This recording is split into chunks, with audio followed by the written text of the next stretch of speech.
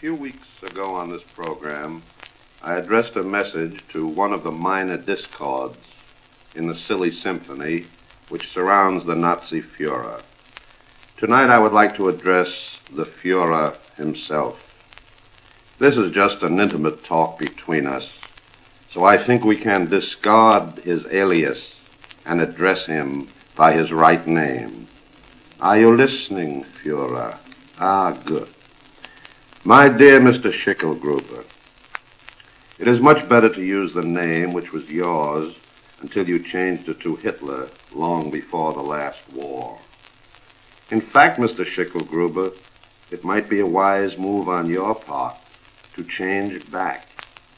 No one can really be angry at anyone named Schickelgruber.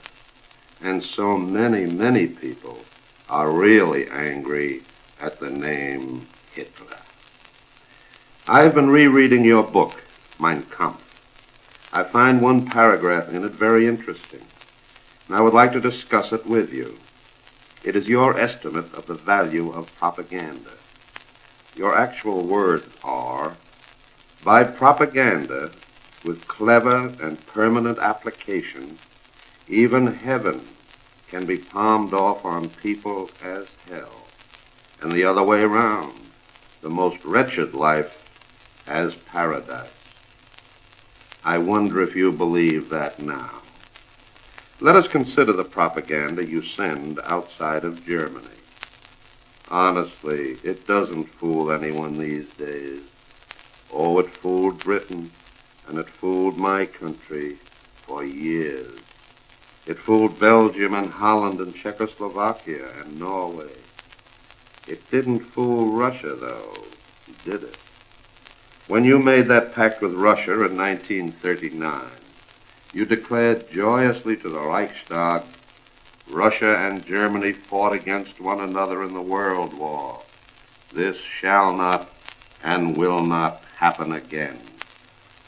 Then on December 10th, 1940, in a broadcast, you paid a high tribute to the people of Russia and you declared, in a terrible struggle, the Russian people arose and freed themselves from the clique of power-thirsty magnates of finance, trade, raw materials, and industry. Your honeyed words, aimed at lulling Russia into complacent slumber, fell on deaf ears. The Russians remembered what you had said years before on page 538 of Mein Kampf. The present rulers of Russia are blood-stained criminals, the dregs of humanity.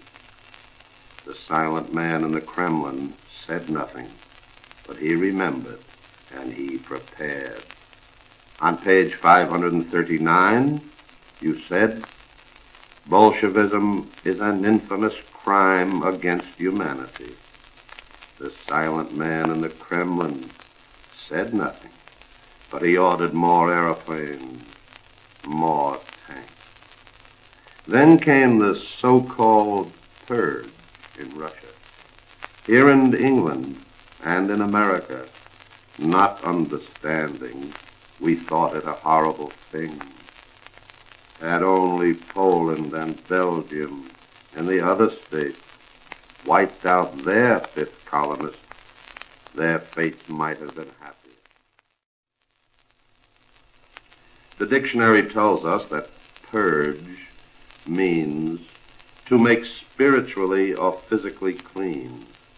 That Russian purge disturbed the world, but now we know that the silent man in the Kremlin was eliminating your fifth column in Russia. The Russians are realists. They knew that your eyes were lusting for the wheat fields of the Ukraine, the oil fields of Baku, the industrial plants of Leningrad and Kiev. They knew that fire could be fought only with fire, that those who live by the sword had to die by the sword. Never again, Mr. Schickelgruber, can you raise the specter of Bolshevism to frighten those of us who live in democracies. Never again can you rant against the militaristic aims of the Soviet Union. History may say many things of your Russian campaign. History will never say that Russia invaded Germany. You counted, of course, on the fact that neither America nor England is particularly enamored of the Russian form of government. It is true that both Britain and my country, that's America, by the way, Mr. Schickelgruber, are quite satisfied with our present forms of government. It is equally true that our two democracies feel that Russia's form of government is entirely Russia's business. When I stand as they play the Russian national anthem in London, I am not implying that I favor the communistic structure over the political structure of my own country. I stand with respect as a tribute to the magnificent fight the people of Russia are making to preserve the new world they have created.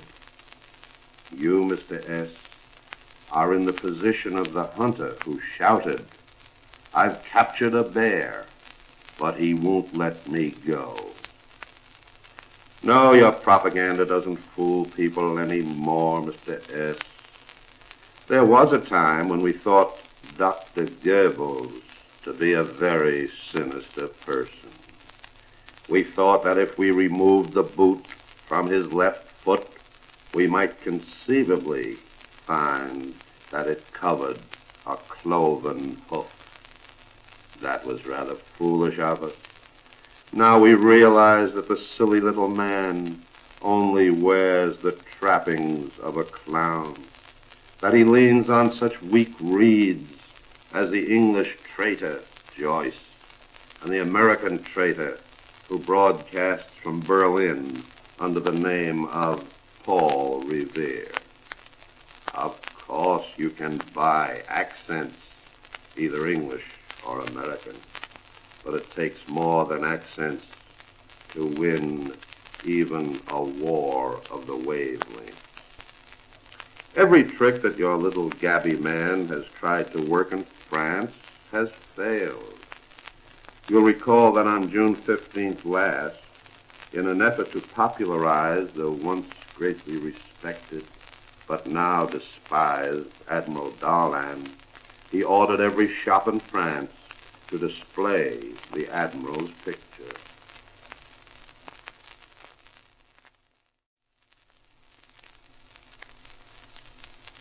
He ordered every newspaper in both occupied and unoccupied France to print a likeness of Darlan on its first page. The order was obeyed. But did your agents notice that somehow most of the pictures in the shop windows happened to fall face downward? Did your agents tell you proudly that every paper in France published Darlan's picture on page one? But did they add, Mr. S., that more than half of the papers printed his picture in the fifth column. And now let's come to this new propaganda campaign which starts tomorrow in America. You know, Mr. S., Britain has eyes and ears all over Europe, even in Germany. And here we know all about your new peace offensive. It has died before it was born. Gabby Goebbels thought he could sell America this bill of goods, and the publicity from his agents there is all set to begin tomorrow. His agents will say, do the people of America know what the Lend-Lease Bill really means? It means, your agents will thunder, that America is a guarantor of a British victory. By implication, this means, too, that America has a moral obligation to help the allies of Britain. Now the new order has been established in Europe. There is peace in Denmark, Czechoslovakia, Poland, Belgium, Holland, France, Norway, Greece, Yugoslavia. Any American interference or aid will result in civil war in these countries, which are now happy under German protection. If America persists in helping Britain, it will mean chaos on the continent. That is the ingenious argument formulated by yourself and the good doctor. Some of your argument is true. America will continue to help Britain help the people of the countries you have temporarily conquered. You bet there'll be chaos on the continent, and heads will fall, and there will be just retribution. You say there is peace in countries in which you now hold temporary sway.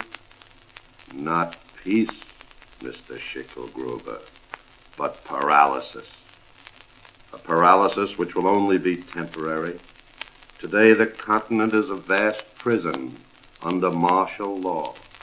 You're right in saying that under the terms of the Lend-Lease Bill, my country owes a moral obligation to help Britain put her fallen allies on their feet again. The people of my country won't be surprised tomorrow when you point out that the Lend-Lease Bill was, in fact, a declaration of war against you. Mr. Schickelgruber, you have given orders to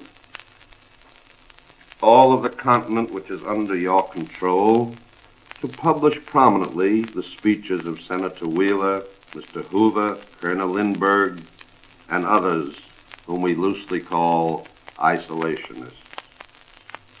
Don't take too much comfort from their speeches.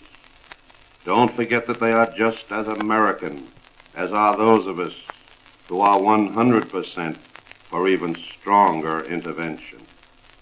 They follow their own star, and if millions of us think that it is a lone star in an artificial sky, we also realize that this is their privilege, and we would fight rather than have their views suppressed.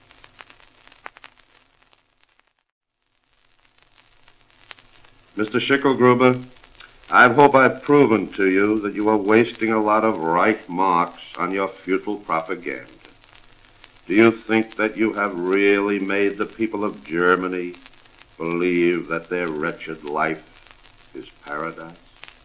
Do you believe that you have made the people of England and America believe that the heaven of freedom they enjoy is actually a hell?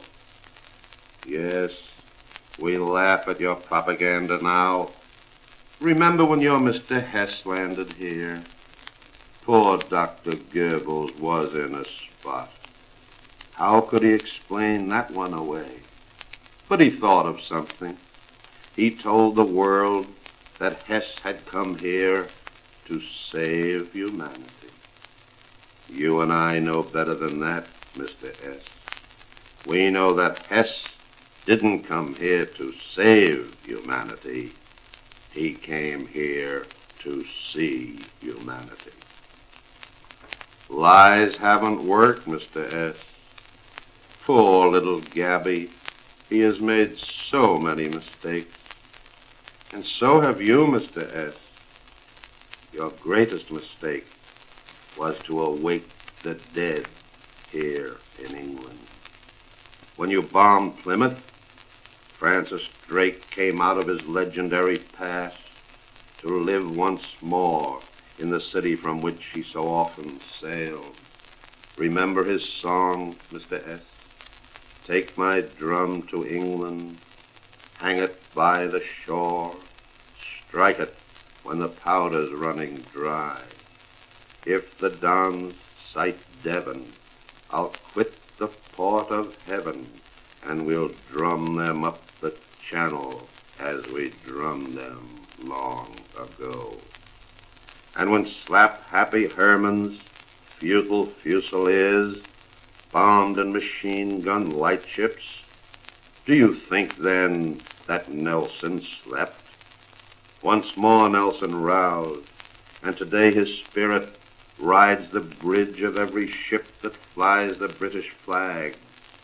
It is dangerous to awake the dead, Mr. S. Do you think then that Wellington slumbers in his grave, or that Allenby sleeps? Old soldiers never die, Mr. S. Do you notice that thousands of naval officers wear their caps at a jaunty angle, half covering one eye? You know then that Beatty, the hero of Jutland, still lives. It is dangerous to awake the dead. Their spirits slip easily from their shrouds to walk the streets of Britain. They live again in the hearts of men, and they know that they did not die in vain. They know that this island is as unassailable as truth. These gallant ghosts of the past know that they will be joined soon by thousands of their countrymen, by men and women who are alive tonight. But who in this island fears death if he may then walk with Drake and Nelson and Beatty and the other immortals? It is dangerous to awake the dead. That's all, Mr. S. Yet one more word. Do you think for a moment that a man bearing the name of Winston Churchill will ever bend his knee to anyone named Schickelgruber? Really, Mr. S? Really? Good night.